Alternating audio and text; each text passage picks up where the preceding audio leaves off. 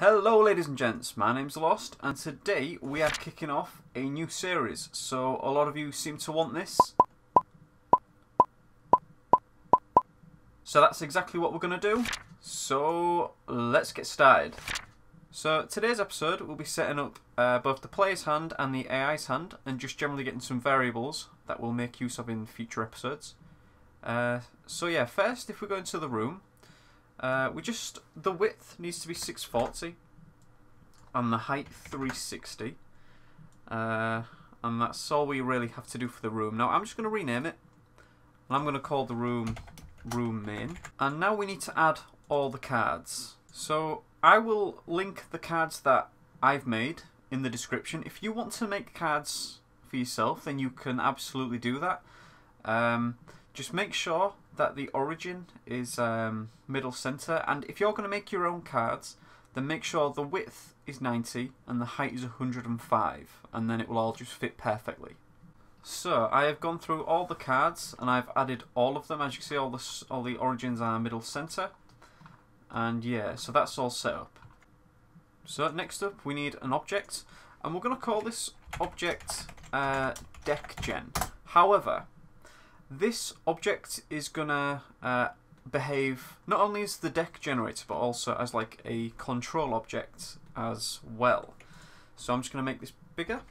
So to start with we're to type some code in the create event and we are to get the variables together for the start of this project. And to start with we are going to get the player's hand variables set up and stuff like that. So I've got this all commented and I'm to talk us through it so let's get started. So description, initialize.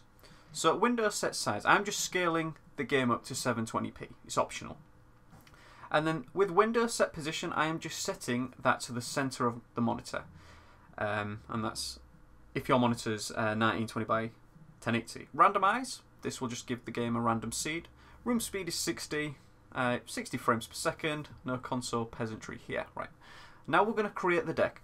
This is not required for the game. Uh, but I just wanted to show off DS lists, if I'm honest with you. So deck P is DS list create, and we are going to create, uh, yeah, the deck. This is the player's deck. So script create deck, and as it says, we're just going to create a deck of random cards. So let's get into that now. I'm just going to create the script. Uh, script create deck.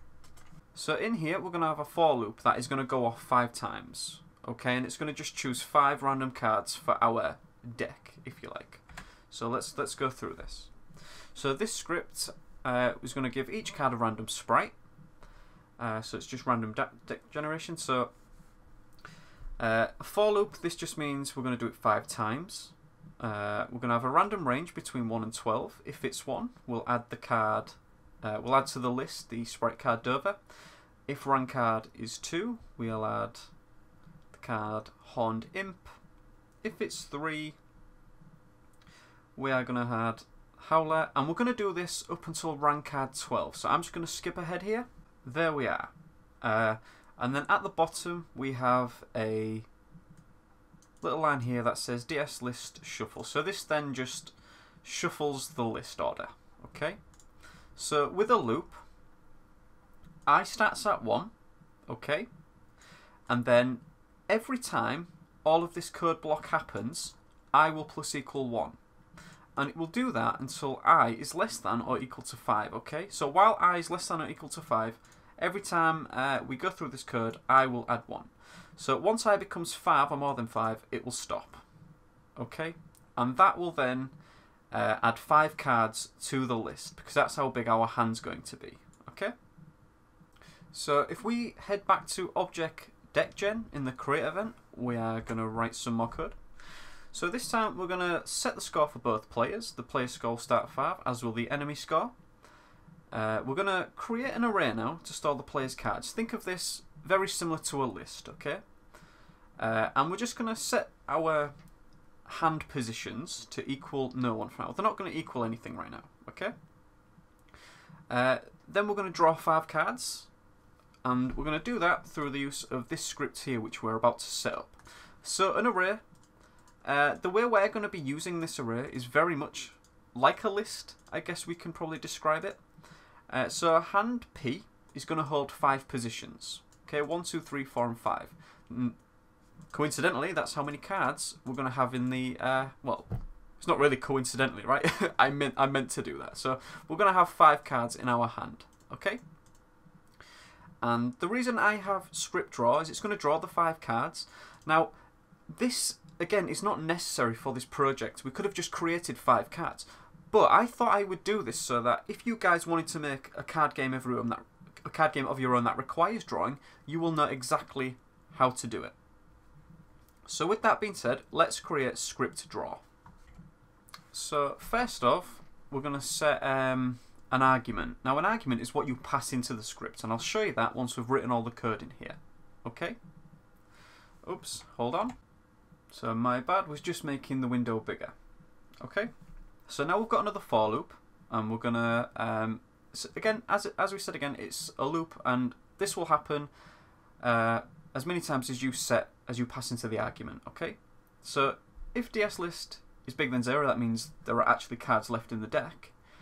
Then we are going to set uh, a variable called called card draw, and it will just get the very uh, sort of top card of the deck. Okay.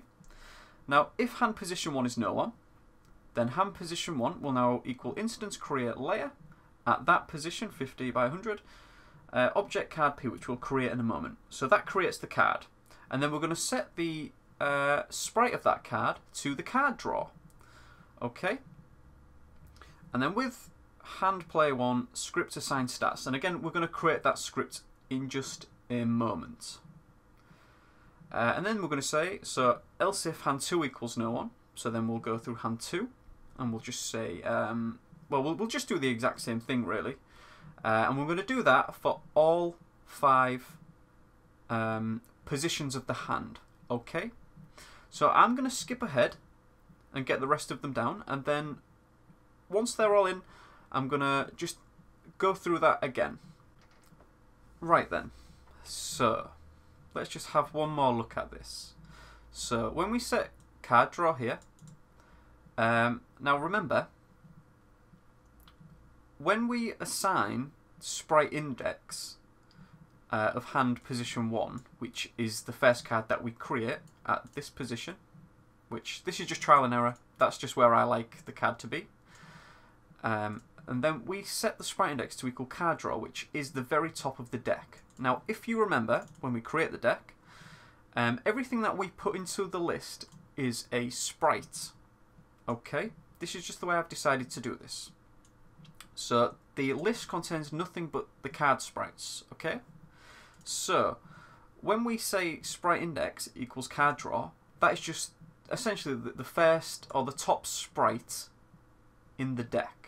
Okay, and that then just assigns it to uh, the first card. And then we, it's the same code for all of them except the uh, positions change. So that just creates card 2 40 pixels below card 1 and then 40 pixels below that, 40 pixels below that, and you see where I'm going with that. Um, and then what we do, every so obviously this is going to happen, all of this is going to happen five times because that's what we pass into the argument. If you look uh, here, we're passing five into that, therefore it is going to go through this for loop five times, okay? And then once it has gone through through the every time it goes through the loop, it will delete the top card, the top position of the list, position zero, because we've just drawn it. Okay. Else, so if DS list is bigger than zero, so that means there's cards. But else, so if there if there is less if there is zero cards, essentially is what that's saying, break. So this just means we end the loop early. Now what we need to do, now that we've established that, we need to create this script here, script assign stats. And once it is assigned a, a sprite to the card, it is going to get the stats for that card. Okay then, so I've commented this a little bit, uh, just sort of describing what we're doing here. It should be self-explanatory as, as we go through this. So we're going to store and assign all, all the sprites in this script. We could have done this through an ini file, that, that we could have loaded things from, or we could have used JSON. Now, I've never used JSON before, so I'm not going to comment on that too much, okay? Um, or the other alternative is you create a bunch of objects that have different sprites and different stats already loaded, okay? But we're going to do it like this. So if sprite index is Dover, then we'll uh, we'll set up to 8, down to 6, left to 6, and right to 5. Now, the object card is going to contain these variables. Now, we haven't created that, but we are going to create it in a moment. Okay, so what I will do is because I'm just going to, we're just typing out all of the cards here and their stats. I'm going to skip ahead. I'll show you all of the stats so you can pause it and write them in. And then what we'll do is we will create object uh, card. Okay, so I'll be back in just one moment. Okay then, so as you can see, um, all of the cards are there. Feel free to just pause this and write them in. Um, all we're doing here is assigning the stats, as I said. So if we go to script draw, with hand P1, this just means you are now controlling hand P1 from uh, that instance itself. So the instance itself runs this script. Okay? Now, we need to create object card P. So let's do that. So, let's call this object card P uh, for player. And then we'll also need an object card E for the enemy. And then we'll also need a parent card. So let's, with uh, object card P, let's assign the parent. And we're also going to do that for card E as well. So first of all, let's worry about object card P. We need, needs a create event. And in this create event, it needs this. So let's initialize the card. Quick image var. Uh, set the depth at minus y so that it's uh, on top of the other cards. Now we'll just set, assign in the stats. Uh, and then the technical variables, we need to get the start x and y position of the card. Um, I'm sure you can imagine what this do. This, when we've played it, that'll just set to true, and when we flip the card, so we turn it from one place control to the other, uh, this will this will just turn to one, and it'll go for like a phase to flip it. Okay. Also, guys, just remember to place object deck gen in the room because this is something I constantly forget. Right then, guys. So as you can see, we have our hand set up. Um, in the next episode, we are going to do the same for the enemy. We're going to get their hand set up. Um, and then we're going to start manipulating the cards, okay? And we're going to get the background and stuff like that. So yeah, thank you very much for joining me, guys. And I will see you in the next one. Hey guys, Lost here. Give the video a thumbs up if you liked it, subscribe if you're new and want more content like this, and please give me your thoughts down below in the comments. Catch you guys later.